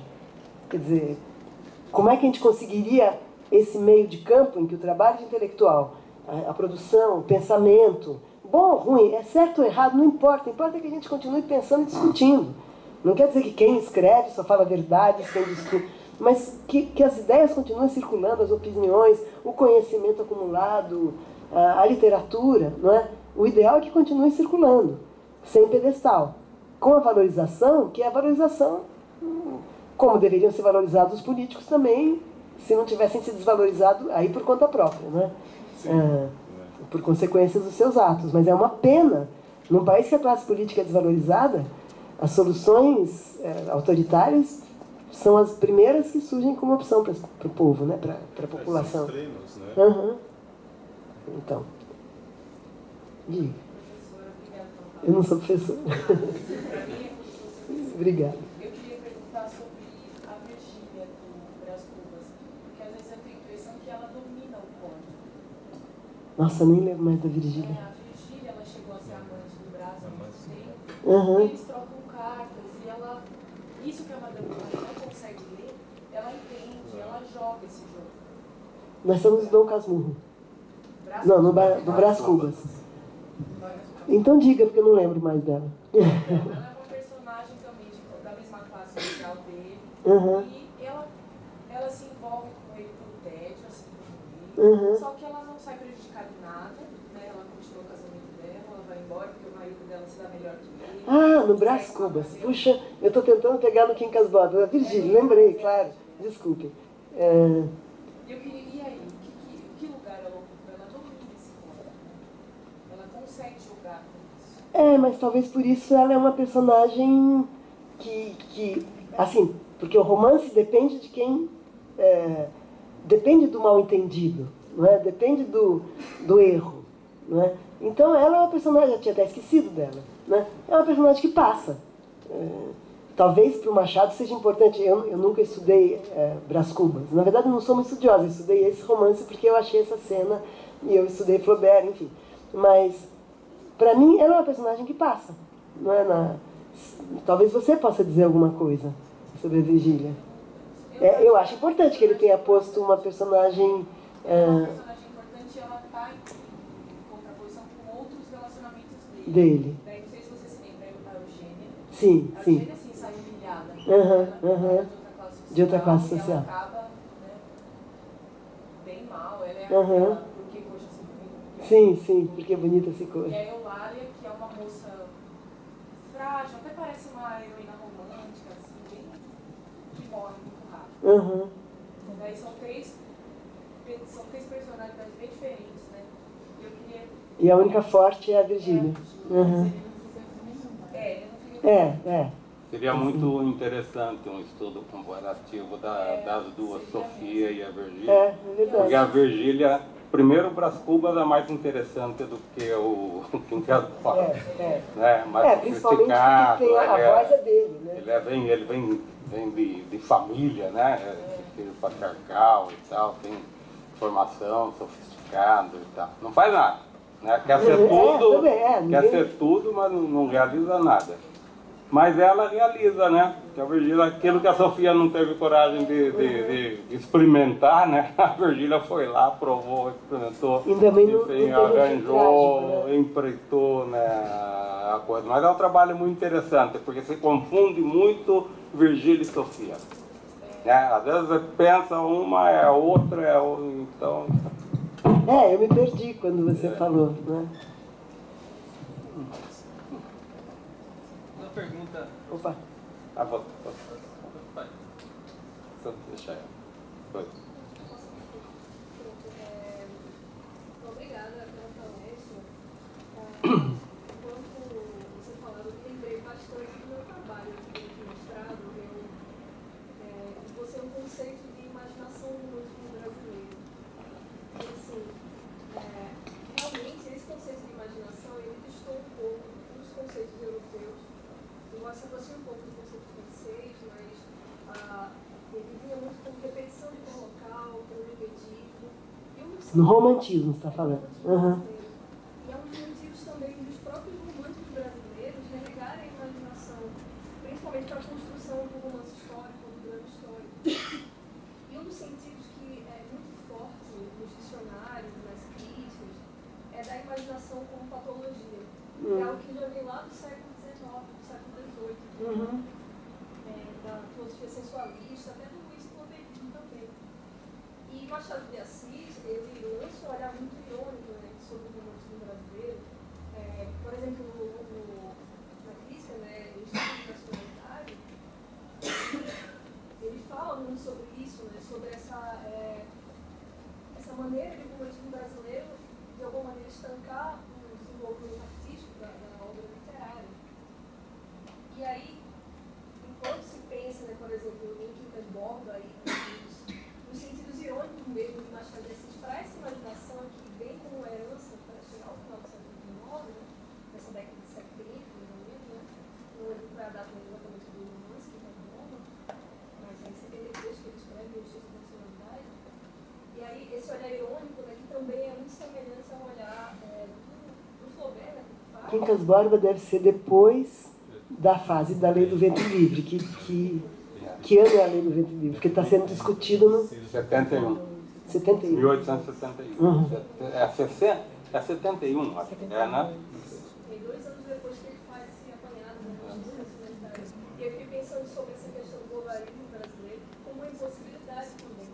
Essa, nessa dimensão, como história das ideias, por exemplo, né? do desenvolvimento da imaginação, se refreada ao ponto de, chegando já no realismo, essa imaginação não poder se desenvolver. Mas por que não pode se desenvolver isso que eu não entendi? Bom, é, pensando no conceito de imaginação, que é muito médica, que se volta muito para o local, quando se chega talvez nesse final de século, essa, é, essa imaginação, esse imaginar-se um outro, ver-se como um outro, que vai recorrer muito ao centro patológico, fica, fica refreado, talvez um pouco estancado. E aí eu fiquei pensando se não seria talvez essa uma ironia de Machado de Assis no Quinta Bomba. Contanto que o personagem, o Rubião, ele enlouquece um pouco romance, né? Sim, Então ele está dentro de uma, de uma psicologia talvez romântica, para a qual a imaginação, o excesso de imaginação principalmente, seria, ah, teria como resultado a loucura, né? esse senso patológico. Eu fiquei pensando se não seria. Mas a Madame Bovary também se mata. Quer dizer, não é um... Aliás, as personagens romanescas da literatura é, é, do século XIX se matam. Guy Debord também se mata. Bom, não, interessante, porque ele também delirava um mundo diferente, né? Não, não sei se tem a ver, mas se tá... Aham. Então, assim, é como uma pergunta mesmo, né? Ah, será que talvez essa imaginação do século XIX, chegando aí no final do século, ela também não faz com que Machado de Assis construa esse olhar irônico sobre a própria literatura e a própria forma de pensar brasileira? Então, eu acho que eu não saberia, não teria elementos, porque tudo que você construiu antes é baseado em coisas que eu não conheço. Né? Então, acho que você está dando uma, em vez de uma pergunta, você está dando uma contribuição de uma hipótese, não é? Que eu não sei dizer se está certo ou errado, eu acho interessante, eu posso dizer isso, eu acho a sua hipótese interessante. Não é? Mas eu não, eu- esse percurso seu é um percurso de quem está realmente na, na teoria literária. Não é? Então, eu sou uma, uma é, turista na teoria literária. Mas obrigada. Tinha um Só, rapaz. só uma correção quando, quando eu disse que o Brás Cubas era mais interessante do que o Borges e do Rubião. É, Do que o Rubião. Do que o Rubião, não o Quincas Borges. Não o romance, não comparando romance com outro. O- Não, é, o não, os personagens, os personagens. É. Mas tinha alguém que tinha. Tem ele aqui. Ah, Não, per- uma pergunta mais sobre uma particularidade do bovarismo. Aham. Uma impressão que ficou para mim. Tá. Algum tempo eu li um texto do professor Roncari, se eu fizer alguma menção errada, o senhor me desculpe.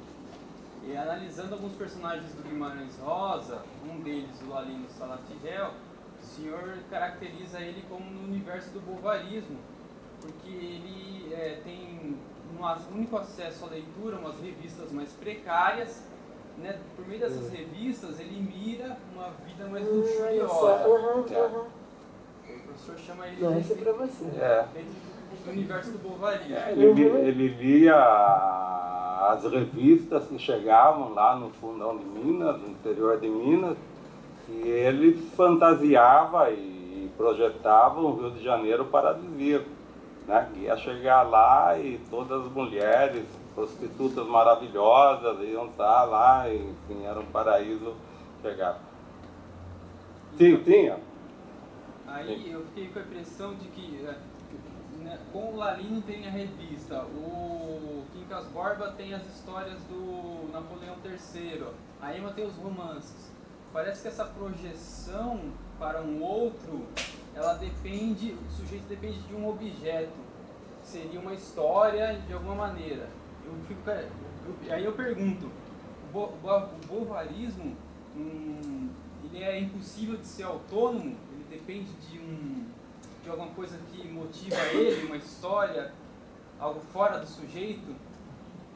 Você vai complementar? Queria complementar. Uhum. Terminou? Terminei. É, não, eu sou da filosofia. Eu, eu também eu fiquei, eu fiquei um pouco. Bom, eu você eu gosto de conceito, de de conceito. Eu achei também, achei, achei que pra mim tá, não está tão claro na explanação do bovarismo. É, porque, uh, se pensar na história da, lá, a, a, essa projeção do meu, é, ele é sempre, sei lá, pode sempre existiu. A projeção do, desculpe. Desse, desse ideal de eu, né, eu acho que ela é tanto recorrente a história da, da humanidade. É, mas me parece, por exemplo, é preciso quando a gente fala uh, de Don Quixote. A, a projeção dele é porque ele lia esses romances, enfim, havia uma relação ali com a escrita né, desses romances que ele lia que então, portanto, ser um daqueles personagens. Isso me parece preciso. Eu não sei, não li o. Eu fiquei curioso, mas não li o, o, o romance da, do, do, do Flaubert. Ah. É, eu, eu pergunto, mas e também, uh, nesse ponto, eu então queria um, um, um, pouco mais de, sei lá, se esclarecer mais como é que esse conceito opera. Bovary. Isso, Bovary. Isso. Não sei nem se é um conceito, tá? É, é uma, noção, uma denominação, uma noção, uma noção social, uhum. né? Uhum. Uma noção, que seja. Uhum. É, é, um outro ponto que eu queria é, aproveitar, e, é, porque numa, numa curiosa, eu fiquei lembrando, é, o Foucault, logo no início da Renata do Sujeito, por exemplo, ele fala de, uma, de uma, um ponto é, que vai no contra, uma, de uma maneira de contraponto que você está defendendo, Maria Rita, que é, é, ele fala que um dos traços da modernidade é exatamente o oposto, né? que é você, que a modernidade começa, segundo Foucault, quando aquilo que a gente aquilo, aquilo que o sujeito faz, que ele lê, que ele estuda, não mais implica uma transformação do ser do sujeito. Né? Ele até cita o caso, cita que quando Descartes inventa o método, né, a partir daquele momento, é, você, tem um, você, tem, você pode ter um corpo de saber sobre qualquer assunto na modernidade, e aquilo não mais necessariamente vai implicar uma mudança do sujeito.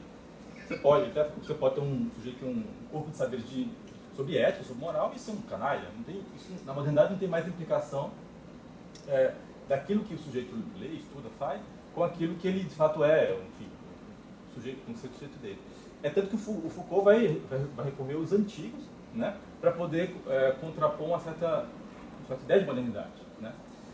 É, mas aí é isso, eu queria entender se, uh, se de fato o bovarismo implica, uh, tem, tem essa noção de que aquilo que, que, que o sujeito lê, ou, aquilo de alguma maneira influencia para essa ideal de eu, né? se, isso, se isso de fato está no conceito de globalismo, na solução do globalismo que você desenvolve, uh, porque isso aí acho que revela uma outra modernidade, me parece. Ou diferente daquela que pelo menos que o Foucault fala que, uh, que vivemos. Enfim, posso esclarecer mais alguma coisa? Tá. É. É, eu queria só fazer uma, um gancho. Como se chama? Ana Lúcia. Um gancho com a, assim, estavas falando de literatura, mas a, a, questão da realidade que a gente está vivendo, e de, por exemplo, de personagens. A gente tem um personagem histórico que é, eu comecei a ver dentro dessa leitura que você fez do bogarismo. Né? É, alguém que sai de um lugar e se desapropria de um lugar que era destinado né, de, de, de, de ostracismo, de acomodação, e de repente tem um caráter meio heróico ou de fazer além do que se era esperado e de repente se espera um fim trágico, né? toda uma construção midiática para que tenha um fim trágico e que assim resiste a esse fim trágico. Né? Então assim, é isso parece que está dentro dessa leitura. Mas quem é esse personagem? O, Ah, o Lula, claro. Mas espera um pouquinho, gente. Desculpa, eu estou falando de uma condição, de uma circunstância no século XIX. É, não, Quer dizer, é... a mobilidade social hoje é completa.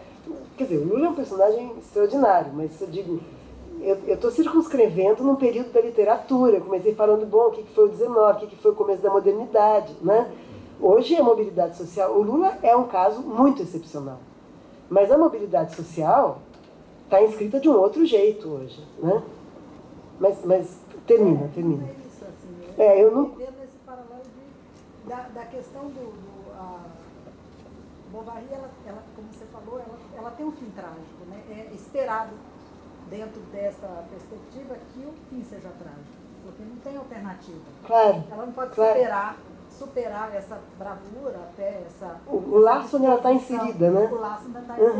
Uhum, uhum. Então aí eu fico vendo que a gente está no século XXI e que tem essa, essa, essa quase que essa não sei, não, é, não posso dizer que é retorno, mas essa, essa, essa construção de que é, há, uma, uma, uma, uma, expectativa de que não haja superação né, e, e, e que se espere fim trágico de situações assim de, de, de heroísmo de quem sai do lugar e tenta se projetar. Mas não foi porque o Lula tentou se projetar. O Silvio Santos saiu do lugar e se projetou e é um herói nacional.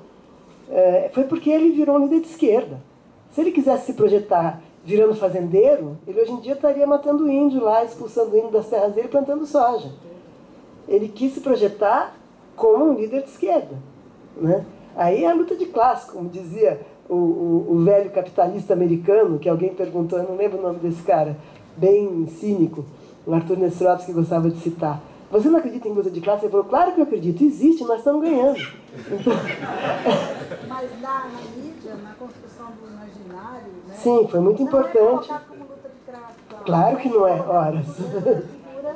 Né, do, do, do, do, herói, que deixa de ser herói, que é bandido. Uhum, claro. Então, né? quase uma coisa romanesca. Né? Sim, é, é, o Lula, mas o Lula gostou muito, se apropriou muito e usou muito bem esse personagem romanesco. Ele não, ele não, a Dilma não soube manejar, até por honestidade dela e uma certa rigidez dela.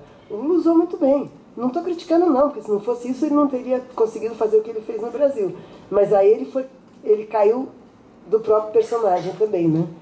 Quer dizer, não sei se foi só isso, claro que não é só isso. Acho que a, a luta de classes no Brasil é feroz e quando Lula deixou de. Quer dizer, a Dilma não manejou molhar a mão de quem tinha que molhar, ela caiu. Acho que o Lula sabia manejar isso. Mas enfim, eu sou péssima para discutir política. É, eu sou desculpa, essa- muito. Pera, deixa eu só, deixa eu só contemplar. Primeiro, Dioclésio, eu não sou muito Foucaultiano, eu acho Foucault muito conservador. É estranho dizer, acho ele bem conservador. Mas eu gosto de um livro dele que não é esse, em que ele fala de uma origem do sujeito moderno, que é aquele que chama que é um autor. Sabe que tem em que ele fala isso, que ainda isso é o século XVII que ele fala, né? Que nas cartas ao rei, numa coisa assim que ele vai descobrir lá num arquivo, não sei de onde, pela primeira vez os caras começam a se assinar autorais nas petições que eles fazem. Claro que é uma viagem, né? É, mas são petições que não é uma carta para comadre ou para avó. Né? Eles publicamente começam a se assinar. Então, é, isso eu acho, acho interessante. Agora, é, se o que o sujeito faz não implica numa transformação do ser, eu, eu sou muito materialista dialético para acreditar nisso, entendeu? Eu acho que a gente se constrói a partir do que a gente faz, não tem essa. Nesse, aliás, nesse texto ele fala as únicas exceções para a modernidade seria exatamente a psicanálise e o marxismo. Né? Uhum. A única exceção. Pois é, pois é. Talvez tem tudo a ver. Mas, o, mas a literatura ele não pôs isso como exceção. Claro, claro. É, mas aí eu, eu não lembro ah, como opera o bovarismo. Peraí, e ele, quem foi que perguntou? Se depende de um outro. Não, é? É, não sei se dá para juntar as duas coisas. Depende de um outro. Bom, primeiro, pelo menos para a psicanálise, é inconcebível o ser humano se subjetivar sem um outro. né? Então, não dá para dizer, quer dizer, essa, essa frase feita, eu me fiz sozinho, né? Ela ou é uma metáfora ou é um delírio paranoico. Um dos dois. Metáfora, tudo bem, eu me fiz sozinho no sentido de que não tinha pai rico, ninguém me deu a mão, etc. Tá, mas quando você entra na análise com essa fala, você vai vendo né, quem te ajudou aqui, quem você se espelhou ali, quem você pediu ajuda em tal momento, porque não existe, e não é desonra nenhuma. Né? Então, quer dizer, é, em geral isso tem mais a ver com o delírio paranoico, quer dizer, é, ninguém entra na minha esfera subjetiva expandida. Eu me fiz sozinho.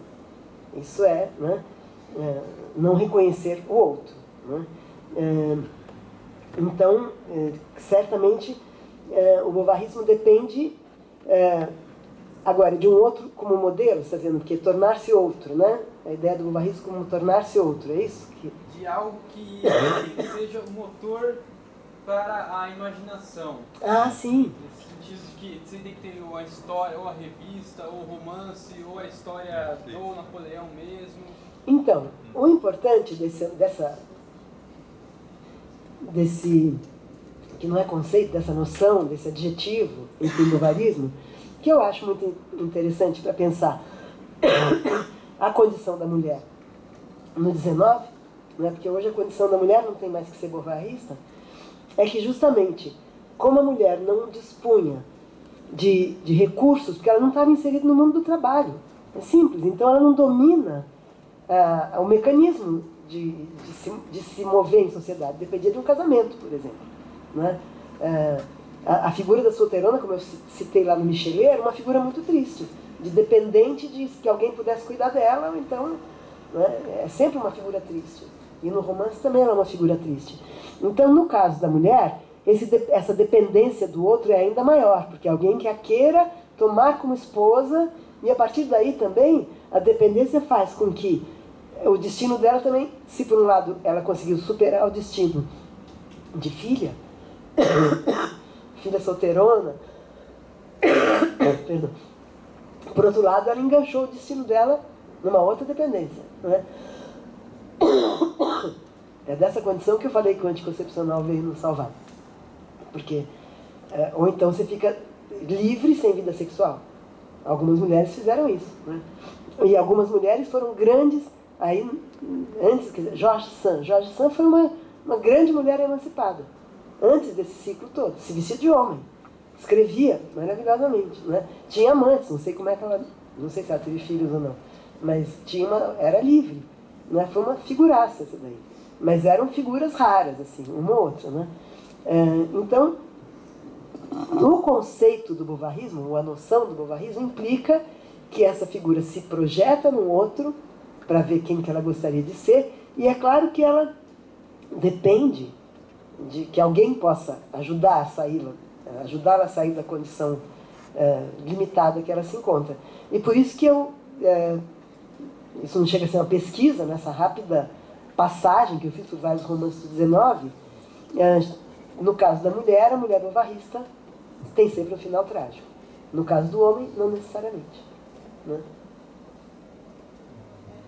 Dentro dessa coisa do 19, né, pegando o gancho do Isaú Jacó, uhum. onde tem a confeitaria, a Luísa, ela, acho que ela talvez não se encaixe no bovarismo, porque ela, o Isaú Jacó, Pedro e Paulo são. Sim, sim, os gêmeos. Ela não consegue se decidir, porque ela, enfim, só tinha a chance de casar, uhum. um é médico, um é advogado. Uhum, ela não consegue, não consegue, fica doente, vai uhum. lá para casa do.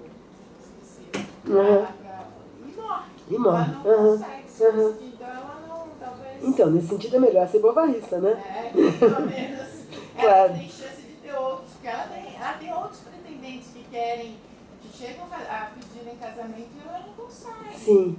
Ela não consegue nem escolher entre os dois, nem Agora, veja como o bovarismo está sutil em várias passagens do Machado, que você lembrou do Israel e Jacó. Né? A primeira cena é a mãe indo consultar a vidente. Né? E a vidente só diz uma, a coisa mais vaga do mundo: coisas futuras. Coisas futuras, quem nasce já tem coisas futuras pela frente. Né? Mesmo que viva cinco anos, já tem coisas futuras pela frente. Ela é uma mãe bovarrista. Ela projeta nesses filhos a mãe dos meninos. Porque, como mulher, é, de um marido, não lembro, mas um cara normal, né? Bem, mas enfim. Ela projeta nos filhos uma glória que ela não pode conquistar. As coisas futuras, né? Tudo bem, não é um romance que termina tragicamente, né? Um é médico, outro engenheiro, etc. Mas o engraçado é, é, é para essa mãe, assim, para ela, para Luísa, né? Flora. Mas, Flora, exatamente. Mas para essa mãe, ela é a buvarrista. Acho que não é a Flora. Né? Como você falou, a Flora não consegue se decidir. Mas para essa mãe, é, a projeção que ela faz, que através dos filhos ela vai ter maior glória, né, é totalmente bobarrista. E depende do destino desses filhos. Ela sozinha não, não pode, não consegue. No 19, no começo do 20. Minha mãe estudou engenharia. Ela era a única mulher na escola politécnica em 1945. Não tinha banheiro feminino. É, Oi? A elétrica só tem um. Só tem um hoje em dia? Uau! então, e conheceu meu pai. E quando ela se casou, meu pai falou: Mas eu preferia que você ficasse em casa cuidando dos filhos. Ela falou: Tá bom. Só veio trabalhar quando nós crescemos e daí meu pai se separou dela. Ou seja, ainda no século XX, né, quando os filhos não precisavam mais dela, estavam na universidade, ela foi trabalhar numa coisa, na Secretaria de Bem-Estar Social, por Luiz Erundina, pá. Meu pai, ó, casou com uma mulher que dependia dele. É, é, muito forte isso no caso da mulher. Muito, muito, muito forte. Não na nossa geração, mas até a geração da minha mãe, quer dizer, na nossa ainda. Cruz credo. É que no meio da psicanálise só tem mulher, então é, parece muito fácil, né? Eu queria que você, se você pudesse falar um pouquinho mais da relação entre o ovarismo e essa condição social escrita hoje, é, que é, a fantasia do, do tornar-se que não é, com a depressão, que, que ela, como se fosse sabotada, né? Essa, essa condição escrita, e que, por exemplo, é, é, se você tivesse conhecimento é, da própria pós-graduação, e a condição feminina dela. Porque, não sei, a gente ouve muitos relatos de pessoas que começam a tomar remédios durante a pós, né? Na captação e tal. Se há alguma, se há alguma, alguma condição específica feminina nessa, nessa tentativa. Mas são só as mulheres que tomam remédio durante a pós? é, é complicado essa. Eu acho que tem que fazer uma observação anterior, não é? Que foi o que eu pesquisei muito de leve. Eu acho que hoje em dia precisam de pesquisas muito mais importantes lá no primeiro capítulo do Tempo e o Cão. Medicação hoje virou uh, água no deserto. Né? Claro, você está com água, você está com sede no deserto, se aparecer água, você toma. Agora, você está passando por uma crise que pode te dar um pouco de depressão, um pouco de angústia, e você vai direto se medicar, vai te enfraquecendo como sujeito. Porque é no enfrentamento de crise que você, né, vai descobrindo seus recursos, porque você vai usando os recursos que você precisa. Ninguém expande todos os seus recursos logo de cara na vida. Na adolescência, que é a fase que você está em dúvida de quais são os seus recursos, você está sem saber, e aí você fica um pouco para onde você vai crescer e já não consegue ser criança. É a primeira crise séria, né? E cada vez mais cedo, porque cada vez também se sai da adolescência mais cedo. Uh, aí fica meio esquisito, fica meio dentro do quarto, está com medo de ir para fora, porque não se sente tão bacana quanto os outros parecem que são, etc. Começa a medicar? É isso que tem acontecido. Né? Então, eu acho que o uso de medicação, hoje em dia, não reflete é, uma, uma questão que está acontecendo com a subjetividade contemporânea. Reflete o poder da indústria farmacêutica, antes de mais nada. E aí vai produzir efeitos na subjetividade. Mas não é que as pessoas estão tomando mais remédio porque hoje em dia, então, não tem mais nem como saber. O que está mais difícil? Porque o aumento do uso do remédio é pesado entre mulheres e homens, entre jovens e velhos, entre adolescentes e que não dá mais para saber se tem uma questão específica, uma crise específica em tal classe, em tal. Uh, é, é, eu fui analista durante alguns anos na Escola Florestan Fernandes do MST. E lá tem uma coisa muito interessante, porque a gente sabe que o modo mais forte de sofrimento do pobre é, é o alcoolismo, quer dizer, é onde ele, na pobreza total, onde as pessoas vão é para o alcoolismo. Né? E como o MST trabalha com essas pessoas, trazendo né, para a luta, etc., mas não quer dizer que ela automaticamente supere o alcoolismo porque foram para a luta. Porque o alcoolismo é uma coisa, é, um, é uma doença, é, é, mais grave do que drogadição, né? Só que como o álcool é uma indústria poderosa e é legal, ninguém diz isso.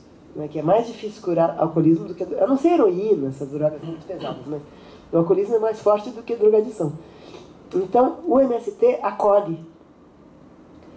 Uh, se tem militantes alcoólatras, eles têm associação com muitas entidades religiosas e eles, eles mandam para internação, para ficar, para conseguir não beber, etc, etc, etc. E depois eles voltam. Não é? Mas não pode abrigar os drogados, porque como a droga é fora da lei, o MST já está na margem da lei, se ele começa a abrigar os drogados, aí ele arruma uma, um pretexto para a polícia invadir. Mas o que eu queria dizer é que uh, esses jovens que foram alcoólatras, é porque eu fui é, psicanalista lá durante alguns anos. Eu tive que parar quando começou a Comissão da Verdade, que eu não conseguia mais conciliar, né? Na escola Florestan Fernandes. Esses jovens que foram alcoólatras e que é, encontraram o movimento social, né? independente desses movimentos, eu gosto muito do MST, mas podia ser um movimento nazista, sei lá, seria horrível, mas que faz um sentido para a vida deles, é muito mais fácil quando volta da internação não voltar para o alcoolismo. E se a pessoa está numa vidinha, que é uma vidinha de ou de desemprego, ou de ir para o trabalho que não tem sentido e voltar, e a única perspectiva é talvez conseguir comprar uma televisão melhor, e É muito fácil voltar para a cobiça. Porque o sentido da vida. E o sentido da vida. É, parece estranho falar assim, não é? Parece padre de televisão, aqueles pastores evangélicos de televisão. Mas o sentido da vida, que não está dado não é para ninguém, embora no capitalismo se diga que o sentido da vida é subir na vida, mas e ganhar dinheiro, subir na vida, não é? Mas o sentido da vida é uma invenção que depende tanto da imaginação. E, não é um, e daí ela não é, não é uma coisa específica. Não é? Você sentir que a sua vida tem um sentido depende de como a sua imaginação vai projetando sentidos para o que você está fazendo. Não é? Numa sociedade em que, em geral, o nosso imaginário já vem de fora para dentro, porque a televisão dominou o imaginário, não é? A depressão aumenta devia, devia diminuir, porque a televisão está oferecendo sentido o tempo todo. Mas não é o sentido que o sujeito encontra para responder às suas questões.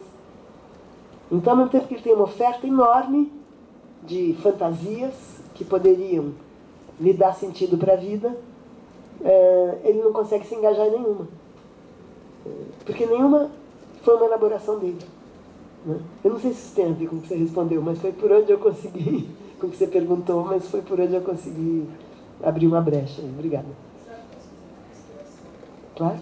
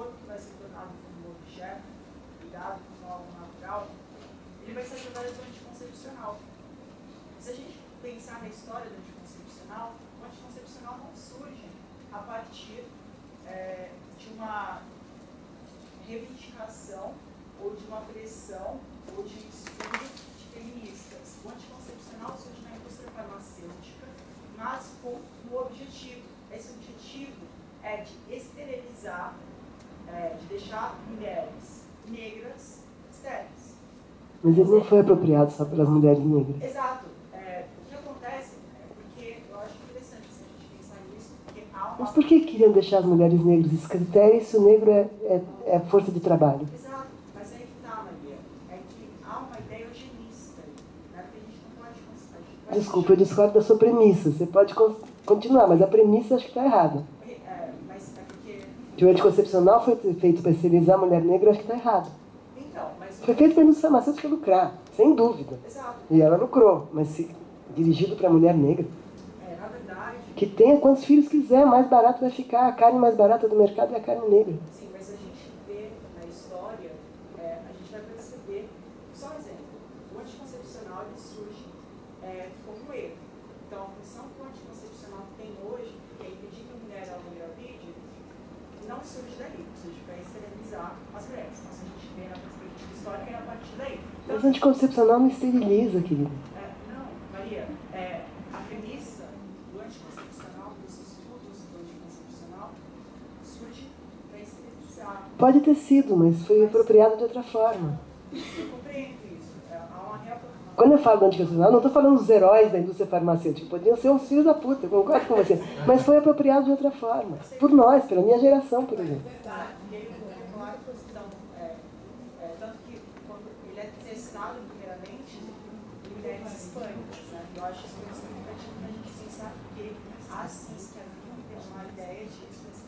Não, ele foi testado em mulheres hispânicas porque se morresse não fazia tanto problema.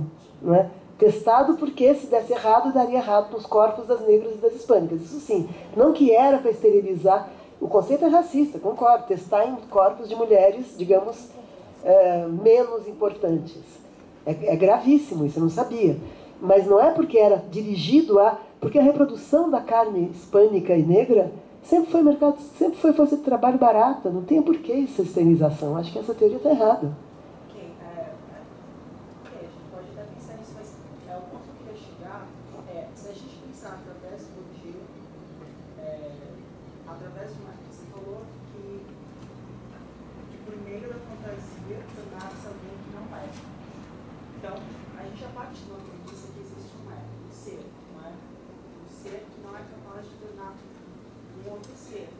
Não, um ser que é construído socialmente. Né? Eu não estou falando de um ser essência. Você é pobre durante 15 anos, então, se você não imaginar que você pode ser outra coisa, você fica pobre o resto. É nesse sentido, eu não estou pensando só para. Concordo com você que não tem um ser. Assim, né? Mas é, a partir. Mas a concepção do de outras pessoas é, que eram bem conservadoras, uhum. é, nesse sentido. Sim, o Júlio Gaultier era conservador. De uma essência e tal. E, não é uma essência. Não, ele não está falando de essência. Ele está falando de classe social. Não é de essência. Desculpe, infelizmente. É, que é muito complexo. A, a sala vai ser, usada. Hum. Então, o nosso tempo de uso acabou. da sala acabou. Né? Ficamos, infelizmente. A gente pode conversar um pouco mais na saída, é. se você quiser. Mas desculpe, deixa eu só esclarecer então. No Gautier não é uma perspectiva essencialista. Ele está falando de uma perspectiva de classe.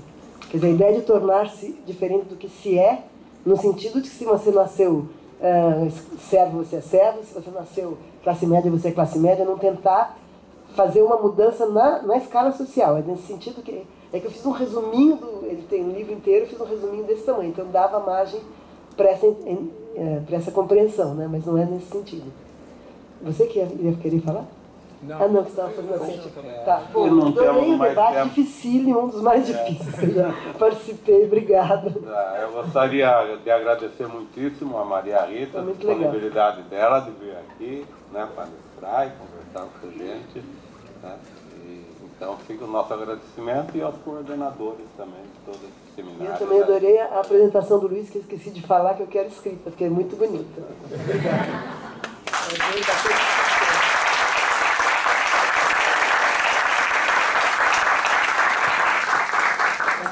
Obrigada. já que eu